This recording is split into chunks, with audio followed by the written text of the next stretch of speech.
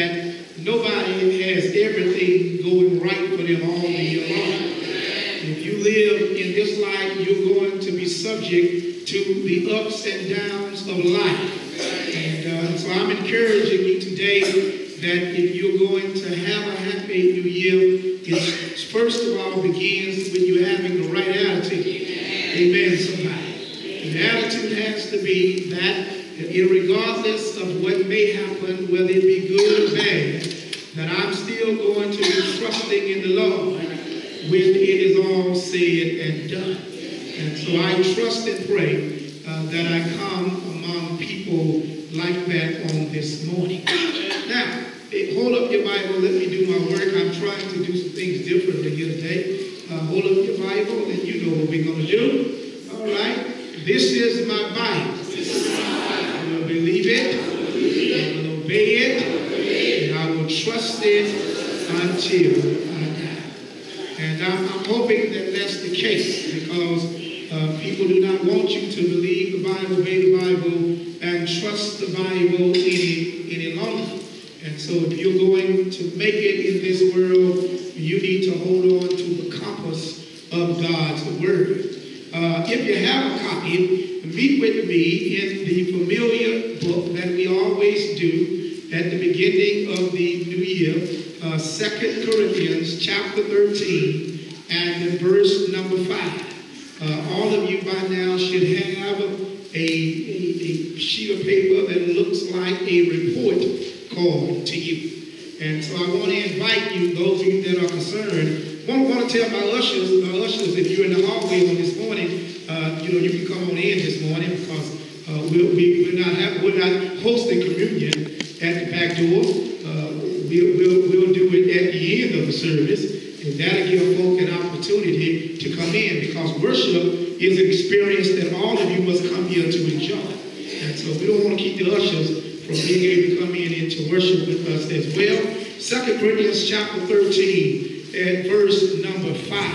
Very familiar passage of scripture that we look at every year in terms of trying to get us to understand how important it is for us to begin every year by taking an introspective look at ourselves. Now, uh, you know, I know some of you have been doing this for a long time, and I hope that you have not, it has not become so repetitive to you that you lose, you lose sight of the seriousness that is involved in self-examination, in taking a look at yourself.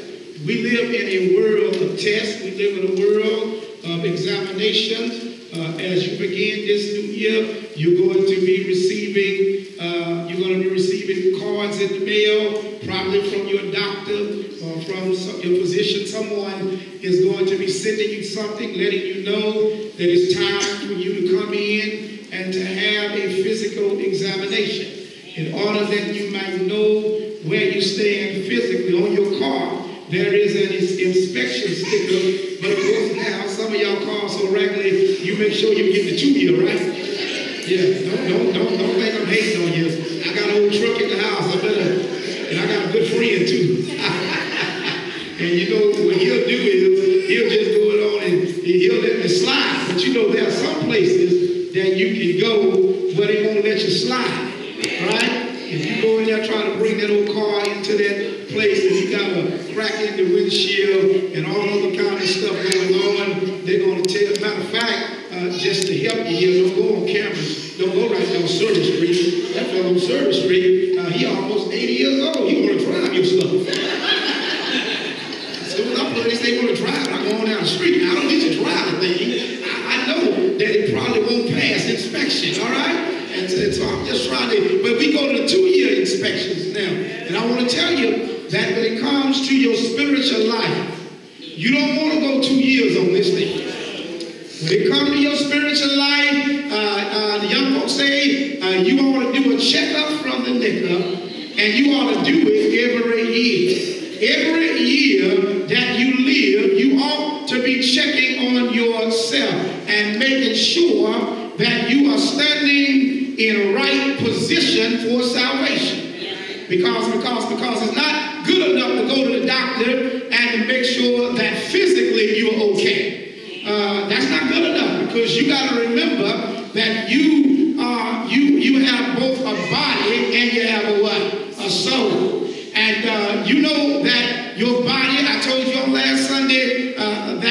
Uh, your body is going to return back to the dust from which God made it, but your soul and your spirit is going back to God. And one day you're going to have to stand in the judgment. And you're going to have to give an account for the things that you have done in this body, whether they be good or bad. And the only way you can know that is you need to always be making sure that you are checking on yourself. You want to know where I stand with God. Now watch this now. In the book of 2 Corinthians 13, as we do it every year, and I just remind you, some of you know it by now, you have the saints at Corinth, and what they have decided is that the Apostle Paul is not who he says he is. They, some of them say he's just a false preacher. Some of them say that he was just preaching because he wants the money. They were all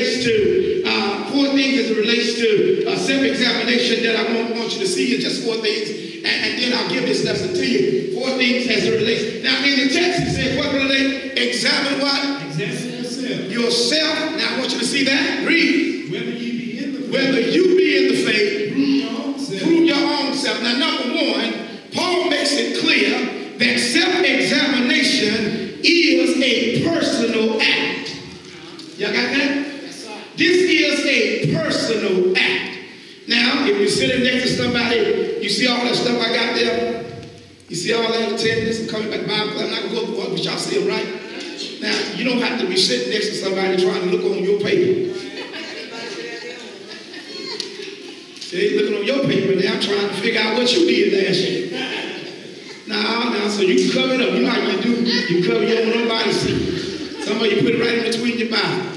This is a personal act. It is not something that is for someone else to do. It is something for you to do. The, the preacher can't help you on this one. Your husband can't help you. Your wife can't help you on this one. And some of you, you that are married ought to be glad about that.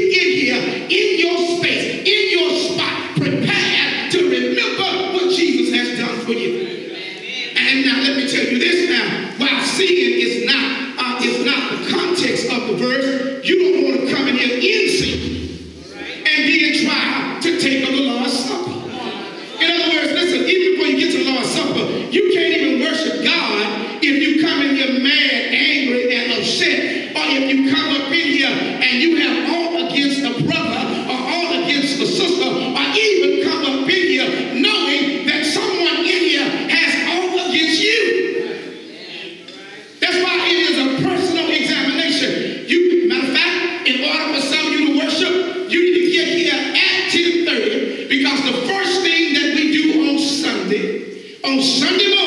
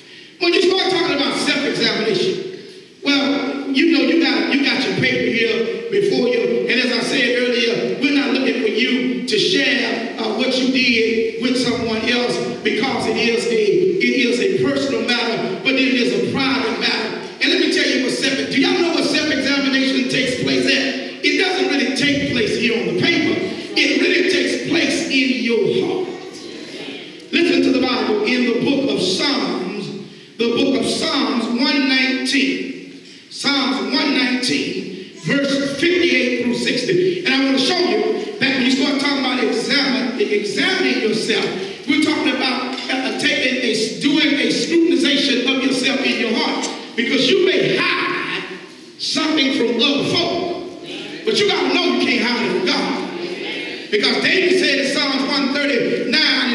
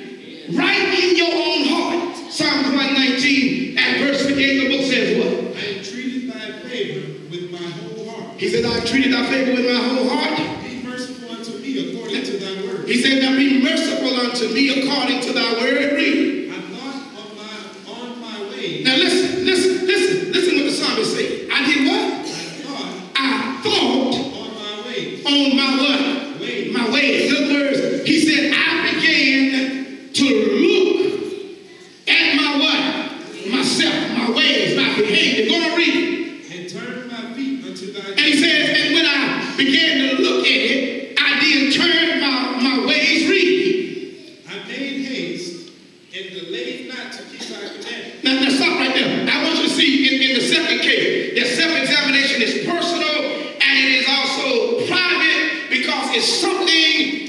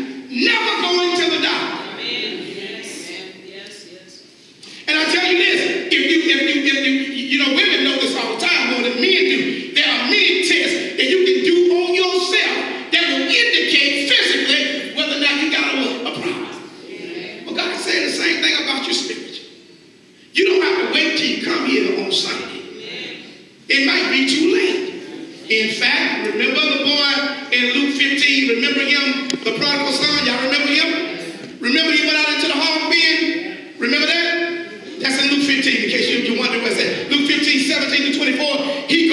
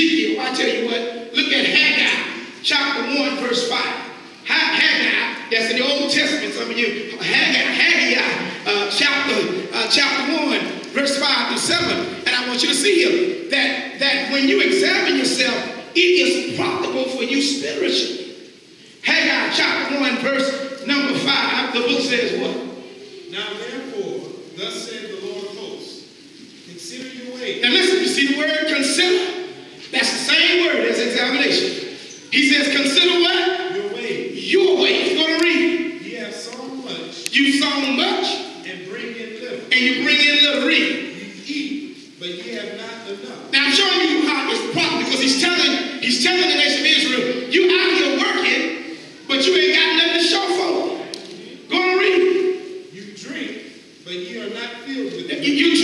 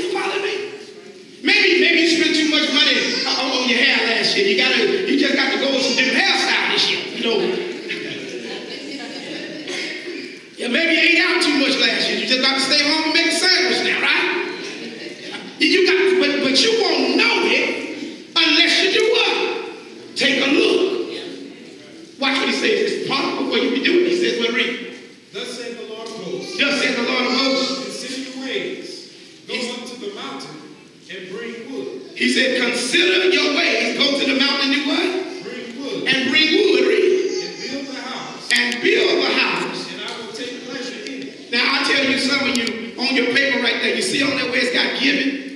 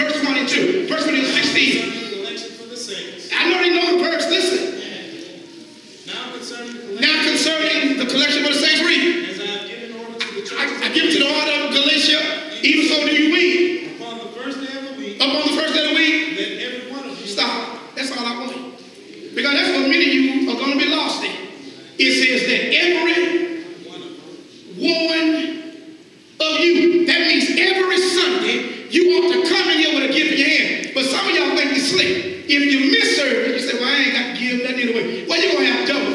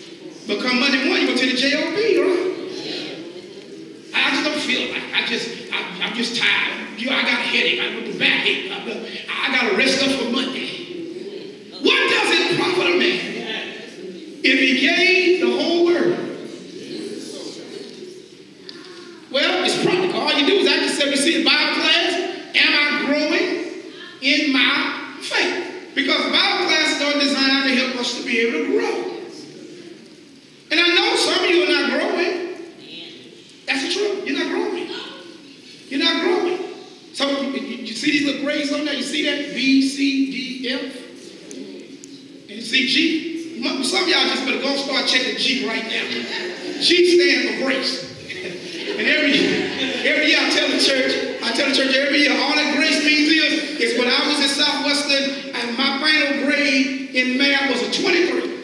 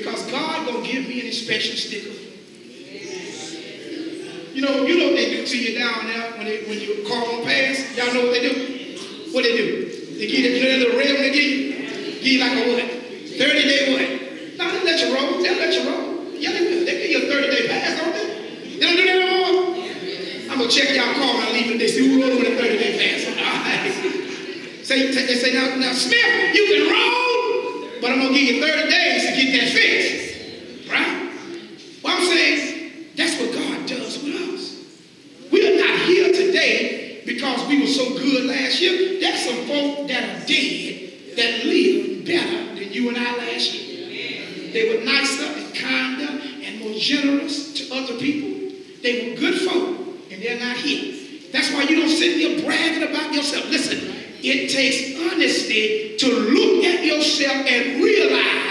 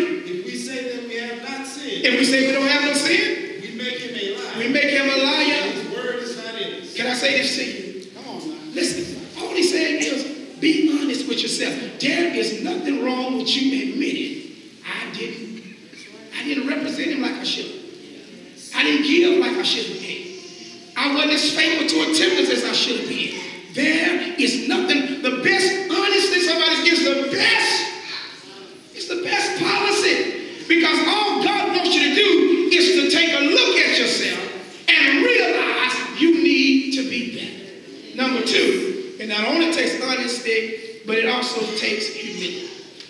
Friend, the humble person is the one who can look at themselves honestly and then admit, I ain't all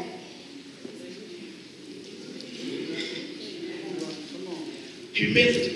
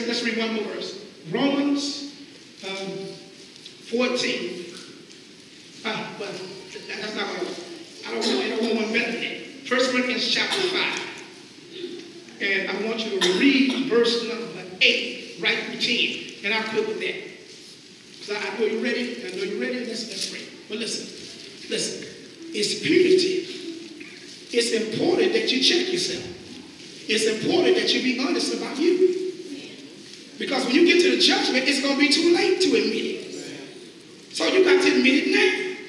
That way, that's where God can help you. First Corinthians, uh, Second Corinthians, I'm sorry, that is Second Corinthians chapter five. Second Corinthians chapter five and uh, verse number eight. Second Corinthians chapter we five. We are confident. Listen. We are confident, I say, and willing rather to be absent from the body, and to be present with the Lord. What read? Wherefore we labor, that whether present or absent, we may be accepted of him. Go to read. For we must all appear before the judgment. Stop. Listen. Y'all listening? Are you listening? For we must all do what? Appear before the judgment. Now hold on. Somebody say, well, I'm not going to appear at the judgment. Oh, come on, friend. Now, that may be some places you may not appear. huh? I was watching, um, watching Channel 16 on AOC. Sometimes I watch to see if some of y'all are seeing on that because you didn't show up for your court appearance. yeah, them jokers start calling you on the phone, don't they? Yeah, Say they're looking for you. And it'd be funny to me because a lot of people they call, they won't even answer the telephone. And the judgment,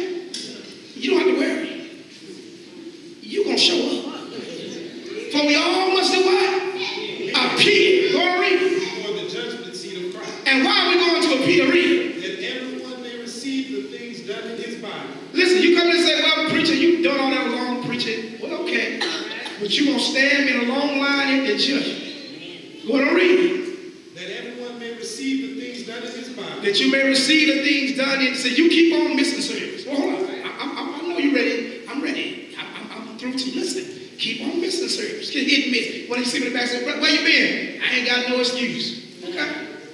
When the collection plate, you let it go pass you on by. Don't nobody come and talk about, bro. I, I still, I drive an 02. That's what I I make sure my wife drive better than me now, but I'll drive an 02. I, I drive a, a 81. I think that's what it is, a Chevrolet truck. Uh, I like to have a, a, a, a key, a, a, a, a 15, but I can't afford that. Are y'all, y'all listening to me? So I ain't about no money up in here. If you don't want to give, rob God all year long. Just keep robbing him. Don't put nothing in the plate. But one day you're going to do what? Appeal. At the judgment and do what? Give him what? See that word account? That means God is keeping.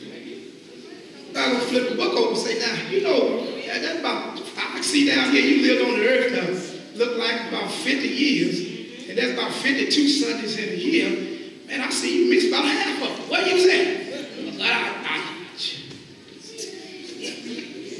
I, that day I was just tired.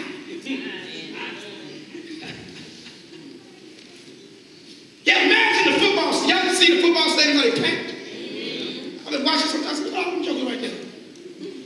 Packed. Well, j- listen. All I'm saying, don't be mad at me. If you don't want to give, don't give. If you don't want to come to service, you don't come. Say it now. You don't want to study Bible, don't study. You don't want to treat folk right, don't treat folk right. Whatever you want to do, you do it. But we must all do what? receive the Before what? judgment, The judgment seat of Christ read. that we may receive the things done in his body, that we may receive the things. Listen, this your body. You know how folks say, "Get my body," right? I do what you can't tell. You know that's what most folks use today. They'll tell you, "You can't judge me. I do whatever I want to do." Well, well, there's some truth to that. You do with your body this year whatever you want to do. If you want to smoke it up, dope it up, sex it up, whatever you want to do. But you better know one day we must all do what? before the judgment seat of Christ, Go to read. that everyone may receive the things done in his body, Go to read. according to that he, he hath done, whether it be good or And bad. I, I told the church last week, I know some of y'all weren't here, that's what makes God so fair. He got a reward for you whether you do good or bad. Now you think hell is worth it, that ain't much of a reward, is it? Go to read. Knowing therefore the terror of the Lord, Now, now, now watch this. Watch this, brother. You want to, you, since you're a preacher now, you want to preach. And when people going to criticize how long you preach, this is why. Why do we talk like we talk? Knowing what? therefore the terror of the Lord, Knowing the what? terror, Terror. Y'all see that?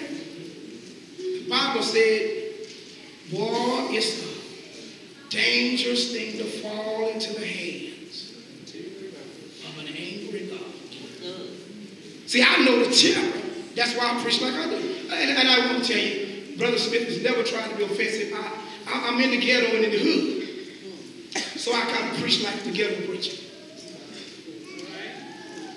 You know, I, I, I can kind of get down with y'all. You know what I'm saying? I, I can turn down for what? You know what I'm saying? Some people want me turned down. I say, turn down for what? You follow me? You follow me? You follow me? You know what I'm saying? I, I, I can say some stuff to you because I know that's the world that you're living in. Matter of fact, check this out. I was thinking about this this morning for the young folk. You know that song? You know that song, uh, uh, No Flex Zone? Yes. I said I'm gonna tell the young folk, no sex song. That's what y'all have, no sex. I'm gonna say, so, so don't ever think that I'm saying what I'm saying to be mean to you. It's because I know what? The terror. of the Lord. See, I know hell is a terrible place. And why go to hell when all you gotta do is just do some stuff? Can I see your statement? Your paper. I don't look at ah, it. That's okay. No, I don't look at it. You say that's okay. I, I, I don't want to look at it. I just want to see. See, they can't see.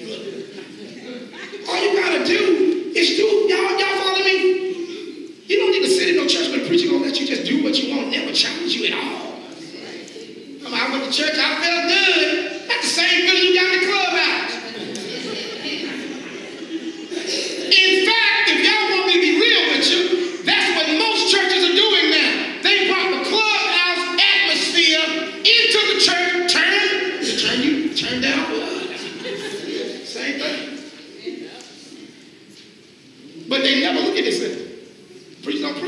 They want you to come in here. You, if you're a man up in here and you don't treat your wife right, they don't want you to look at yourself.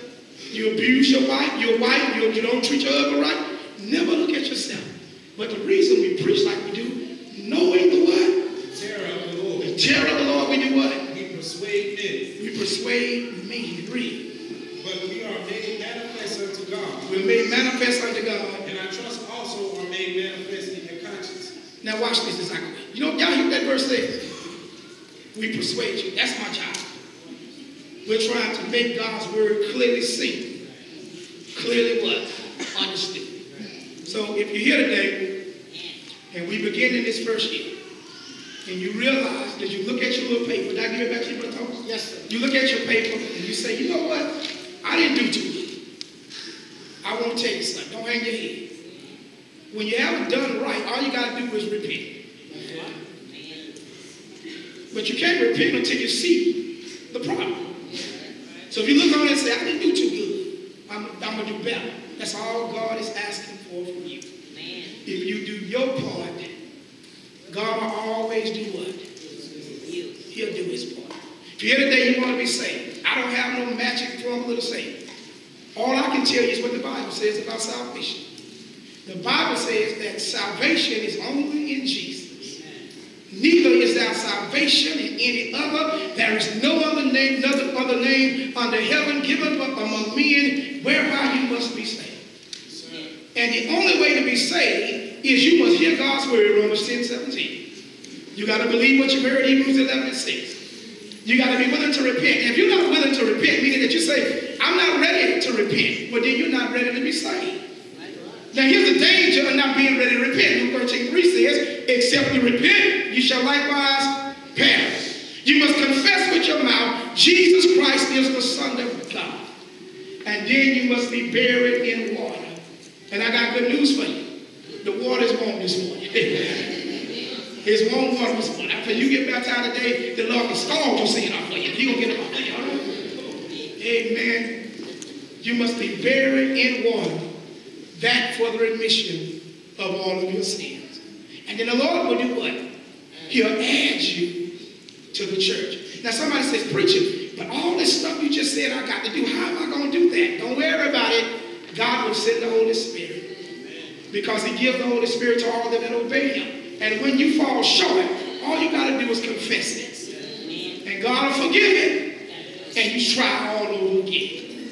Now, that's for those that are not in the body. If you're in the body and you realize that your life has been out of step with the Lord, you want to get it in step today. You want to, somebody say, I got my New Year's resolution. Man, listen, you got enough on that paper. Don't worry about all that other stuff. You got enough on that paper right to deal with. Make, make a spiritual resolution that I want to I want to get closer to the Lord. And I, because if there's ever time we need the Lord, y'all know it showed up right now. You want this? I beg you to come while we sing the invitation.